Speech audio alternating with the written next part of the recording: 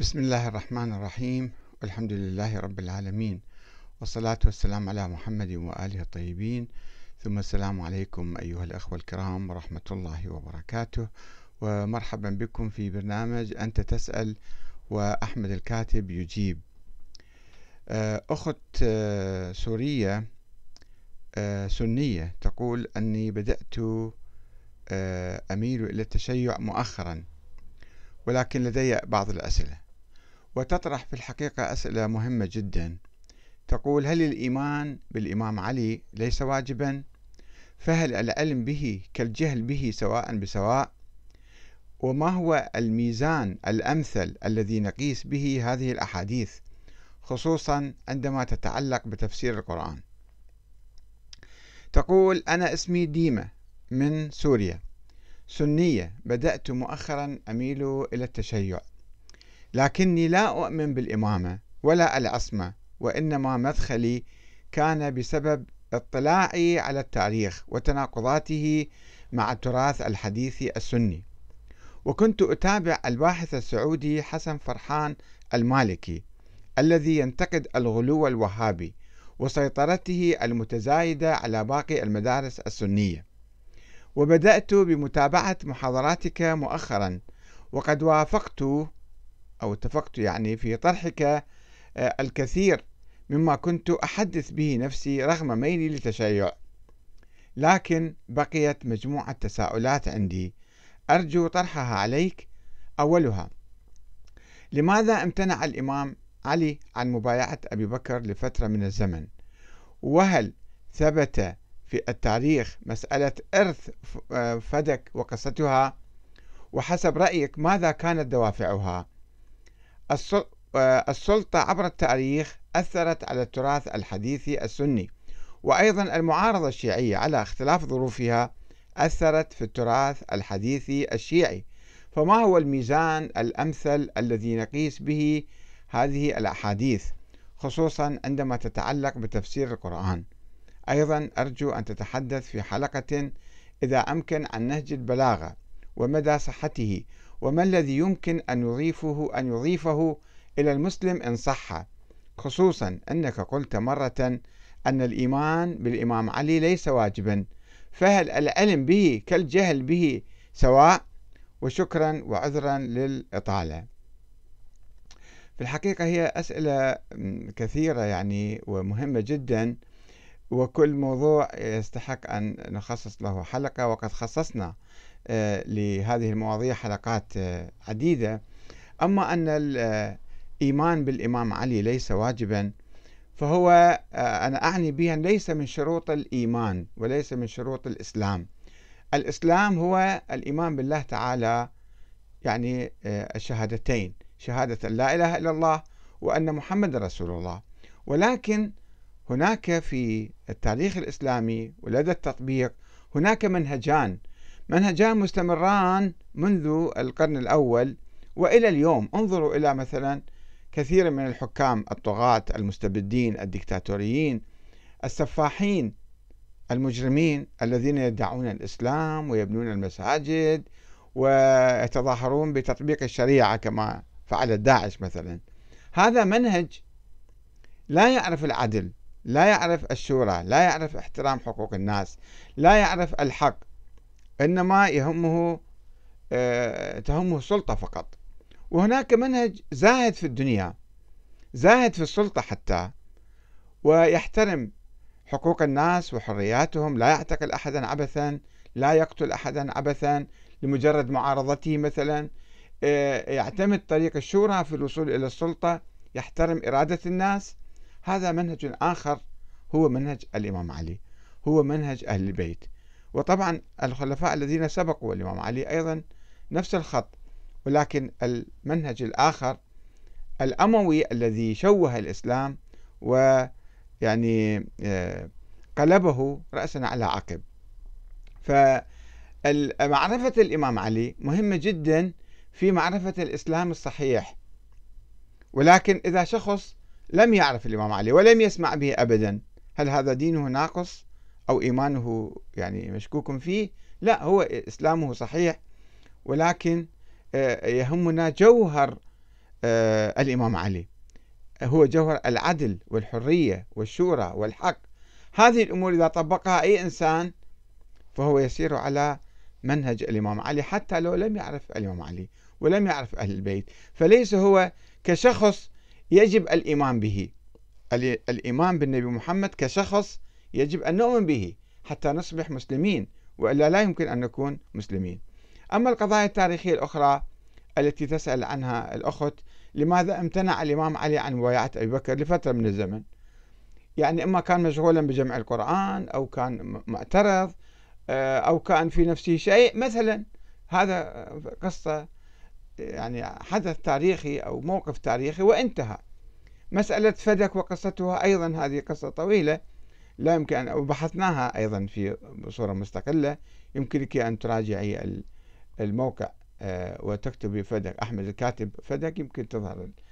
وباختصار أقول أنها يعني النبي صلى الله عليه وسلم لم يترك نظام دولة بعده إنما أبو بكر والصحابة اجتهدوا بإقامة الدولة وهاي الدولة كانت تحتاج إلى أموال وفدك كانت مزرعة كبيرة جدا.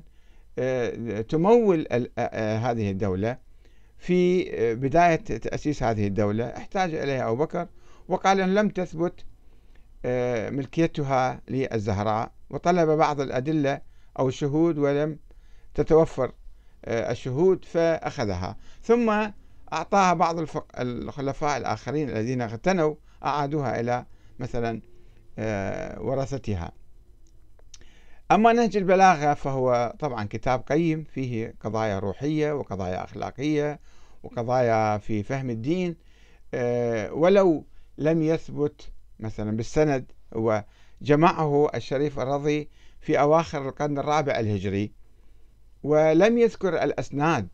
لذلك لا يعتبر حجة شرعية على أي أحد. لا يمكن أن نعتبر قولا آه، منسوبا إلى واحد قبل 300-400 سنة أن هذا حجة شرعية. وإنما هو كتاب مفيد وكتاب مهم وفيه حول توحيد الله وعلى قضايا تاريخية يمكن الاستفادة والاستعانة بها. هذا الموضوع أو هذا السؤال سؤال الأخت ديمة آه، أثار عددا من النقاشات بين الأخوة الذين علقوا على آه، سؤالها. آه، الأخ عبد الغفور يقول يا ديمة أنا يا محترمة أنا أود ألفت نظرك إلى كتاب الله سبحانه حيث قال في ختم سيدنا محمد صلى الله عليه وآله وهو المبلغ عن الله سبحانه وقال اليوم أكملت لكم دينكم وأتممت عليكم نعمتي ورضيت لكم الإسلام دينا. وفي معيار السماء يوجد إسلام ولا يوجد سنة أو شيعة وهذه ابتداع أشخاص وهم بشر عاديين لا تقديس عندهم وهم حكموا وماتوا وهم رهينة أعمالهم وكلهم عند الله ونحن سوف نتبعهم. أبو حمزة الشاري يقول هي أجابت في آخر السؤال الجهل بهذه الأحداث التاريخية صحت أو لم تصح؟ كالعلم بها لا ينفع ولا يضر. الدين دين الله تعالى ولقد بينه في كتابه إذ نحن لسنا بمكلفين عن التفتيش عن علاقة علي بأبي بكر. كيف كانت؟ وهل كان عمر يحب خالد بن وليد؟ النظر في هذه القضايا داخل في جانب البحث التاريخي لا الديني. عادل السمعلي أو السمعلي لا أعرف بالضبط يقول لا تميلي للتشيع يخاطب الأخت ديمة لا تميلي للتشيع ولا للتسنن وإنما هذه فرق سياسية راكمت الأفكار عبر التاريخ وعبر الصراعات على الحكم وإنما الدين عند الله الإسلام والإسلام قواعده وأركانه كلها موجودة في القرآن الكريم وفي السنة الفعلية لسيد المرسلين. الإسلام ليس أشخاص بقدر أو بل أفكار وعقائد. الإنجنير العراقي يعني المهندس العراقي يقول أنا شيعي أتفق معها تماما فأنا لا أؤمن بالعصمة ولا بالولاية ولا بالمهدوية لكني أؤمن بحق عليم في الخلافة وأن بقية الخلفاء تآمروا وغيروا صحيح الدين طبعا في الدنيا وأن الحكم الأموي والعباسي فاسد دموي توسعي زور التاريخ واشترى رواة الحديث وفقهاء السلطة فأسسوا المذاهب ليس لها من الإسلام إلا المظهر. يا أخي العزيز المهندس العراقي. إذا أنت ما تؤمن بالعصمة وما تؤمن بالولاية وتؤمن بالمهدوية فكيف تعتقد بأن الخلافة كانت من حق علي مثلا وأن البقية تآمروا عليها؟ هذا الكلام متناقض. فأرجو أن تعيد النظر وتدرس تاريخ الإمام علي وتاريخ أئمة من أهل البيت وحتى يعني تصل إلى آه، أن الخلافة مسألة دنيوية وليست مسألة دينية. فلا تقول أنه غيروا صحيح. الدين طبعا طبعا في الدنيا. ماذا غيروا من الدين؟ هي هاي النظرية التي سببت لنا المشاكل عبر التاريخ. الاعتقاد بهذه المسألة أنه هناك نص على الإمام علي والبقية سرقوا الخلافة منه وبالتالي آه، هذا الكلام يؤدي بنا إلى موقف سلبي من الصحابة ويخلق لنا مشاكل مع بقية المسلمين إلى اليوم إلى المستقبل. الله أعلم. نرجو من الله أن ينقذنا منها. الأخ مهند ابن عمرو. يجيب الأخ المهندس العراقي يقول له من كان يعبد محمدا فإن محمدا قد مات ومن كان يعبد الله فإن الله حي لا يموت. الخلافة ومن جاء بعد الرسول كلها أمور دنيوية فيها الصواب وفيها الخطأ.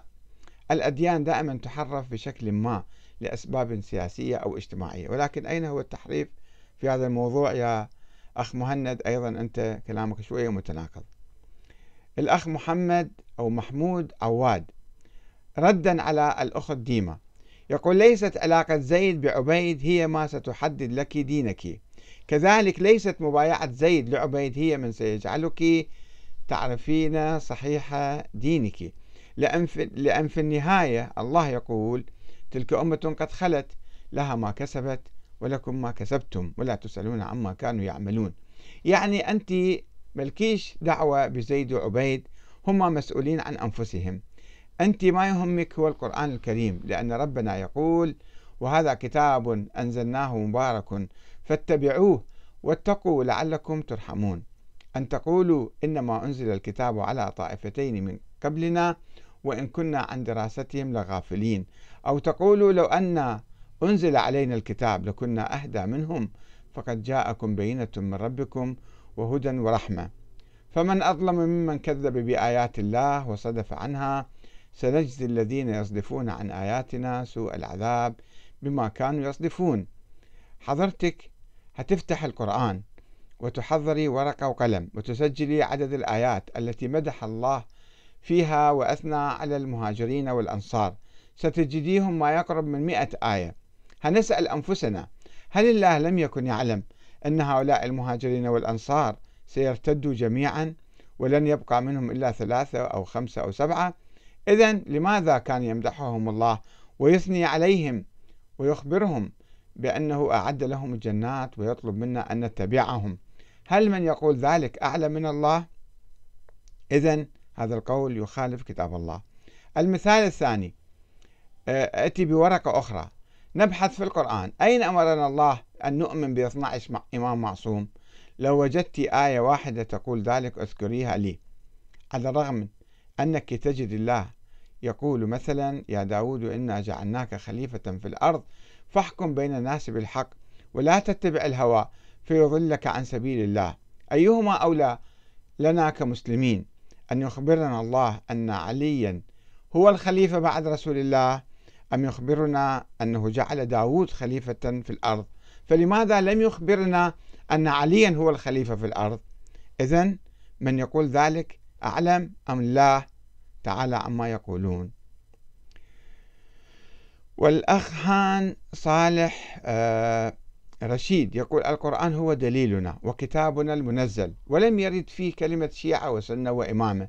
هذه كلها إضافات وردت باجتهادات ومصالح المسلمون الأوائل وآل البيت لهم مكانة في قلوب كل المسلمين. والسلام عليكم ورحمة الله وبركاته.